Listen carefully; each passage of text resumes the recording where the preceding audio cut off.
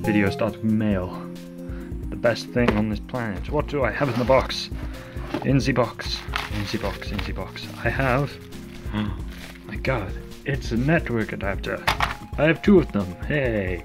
Um, this is an Intel server adapter, an X520 DA2. Yes. Yes, maybe. Focus. There we go. DA2. Um, 10 gigabit SFP plus. PCIe 8X, and yeah, and these are going in my virtualization server, uh, so the Sun Oracle system, and my FreeNAS box, so I can link them at 10G. Now, the people who watch my other videos will, well, specifically the June server update, I guess. Is that the, yeah. Uh, you will have noticed that I mentioned that I have fiber channel cards in there. Uh, two, again, dual port, 4 gigabit uh, per second. And you're most probably thinking, if you've got fiber channel connected in the two systems, why do you want 10 gig E? You know, um, and even more valid the point when I say I don't really think the file system, not the file system, the disk system anyway, of the FreeNAS box is capable of going over uh, what 4 gigabit can supply, which is 500 megabytes a second. 125 per gig, 400, yeah, 500 gig megabytes a second. I don't think it can. I think it tops out somewhere around 400. So why, why 10 gig E, or in this case, direct attach? Um, fiber channel requires fiber channel targets on FreeNAS, that means you've got two ways of doing it. You can either designate a whole device over to it. So say you're using a RAID card and you've got disks on it, fine, you can designate the RAID device over. Or you can do it via a file. Uh, in this case, I'm using a one terabyte file. Okay, um, what's the problem with that? Well, what happens if I decide that one terabyte's not enough? I've got to go and re-expand, like delete the disks, well, not delete, create a new one, copy it all over. But at the same time, I don't want to dump a terabyte if I'm not going to use a terabyte. So, go back to standard networking and use NF, yeah, NFS shares instead because they work perfectly fine. And it's currently what I'm also doing. Uh, although there's the fiber channel, there is actually a one gig uh, connection via NFS. I hope I'm saying that right. Is it NFS? Uh, yeah, NFS. It's got to be. If I'm not, I'm just gonna go jump off a bridge because apparently I don't even remember what I'm doing. So yeah, everything should hopefully be shutting down, and uh, yeah. Woo. I totally forgot to look at the uptime. Bollocks. The um, Proxmox is nowhere near as impressive because I recently rebooted it after an update. Oh, better shut this down. This is the problem with having large monitors. No, shut down. Boo doo doo doo. So, already got everything powered down and I've got the Oracle drawn out because this is a half height I've had to take the bracket off. I still need to work on like jerry rigging or well I can easily cut the uh, high profile adapters down but I just haven't got around to it. So yeah this can just pretty much go in here. This is a bit tricky to do one hand. He says can he do it? Can he do it one hand? Can he do it Yes, you can. Okay. There we go. And then I'm going to jerry rig something with a zip tie just to hold it up a bit. Just so it doesn't wreck everything. It's not the best jerry rig, but it's not supposed to be permanent, he says. Uh, at least it'll hold and stop the card from being moved as I pull or push and pull cables out of it. Right, so lid back on, get this rehooked up, and then onto the FreeNAS box. What's this? Your FreeNAS box already has a 10G gigabit Ethernet 10G, oh god, can't even say words. 10 gigabit network card in it. Why, why have you got another one? Well, as you saw most probably in the June server update, I removed one from my god. Whew, that didn't sound healthy. I removed one of these from my Oracle system. Uh, these are QLogic ones slash NetXen N3031s um, yeah, not 100% compatible with Linux, not 100% compatible with FreeBSD, well, 0% compatible with FreeBSD, so no free FreeNAS support whatsoever. Oh well. So, hence why I've got these ones instead. And it was as simple as that. Time to get this back in the rack or plugged up and hopefully, fingers crossed, everything will work. Woo. Now, hopefully, if all goes according to plan, oh god, eh, lots of it. That should theoretically be it.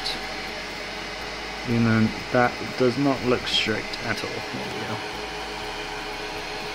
Ooh. Power. oh, why is this giving me a warning light? Rear power supply.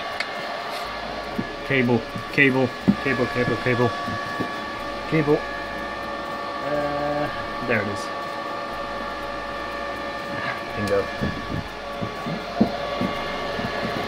Uh, oh, there we go, it's cleared. Awesome.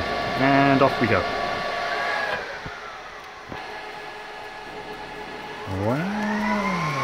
There we go. Now just to wait for all this to boot. Hopefully. Start. This is the FreeNAS uh, system booting, and it just mentioned it just uh, went through the network interfaces and the onboard are EM, so EM0 and EM1.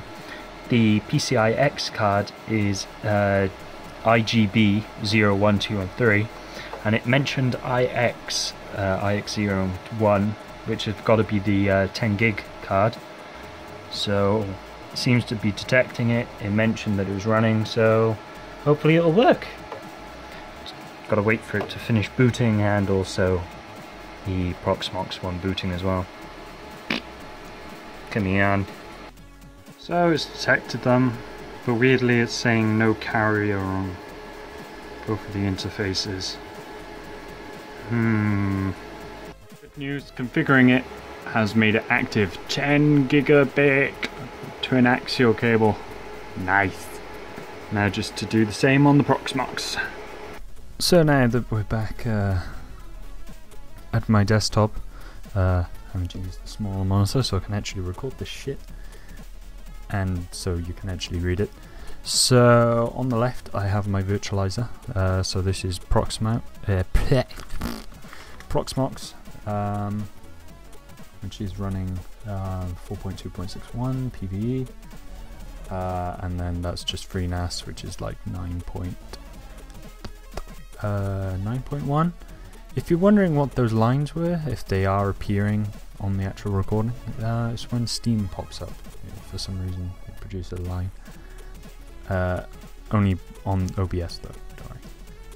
So yeah, uh, that's the Proxmox machine. Uh, from here we can do LSPCI and you know get a list of everything that's connected and so around here we have the Ethernet controllers so uh, the 4 gigabit on board are Intel 82576s. Uh, and then here's our Ethernet controller for the external one.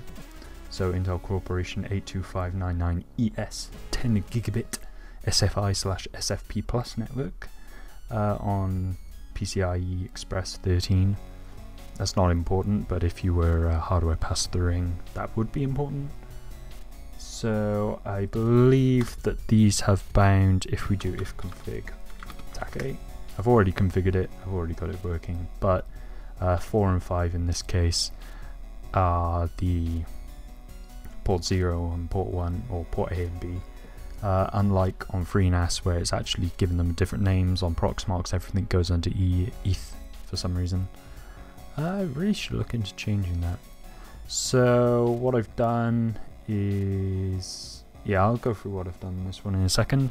So on this one, as you can see, we have our list of interfaces. We have IGB 0 and 1. These are the 2 gigabit that are on the board. There's EM0, 1, 2, and 3. Those are the four on the PCI X card. And then IX0 and IX1. Port A and B of the 10 gig card. As you can see, port they are connected via a 10 gig base twin axial cable, which is does the job, so why not? And what I've done is I configured these under the private network of 172.16.10.1 as the network uh, with a mask of slash 30. Um, so 255, 255, 255, 248. So these are the only two uh, devices that can be on that network, so they know they're going to be communicating with each other.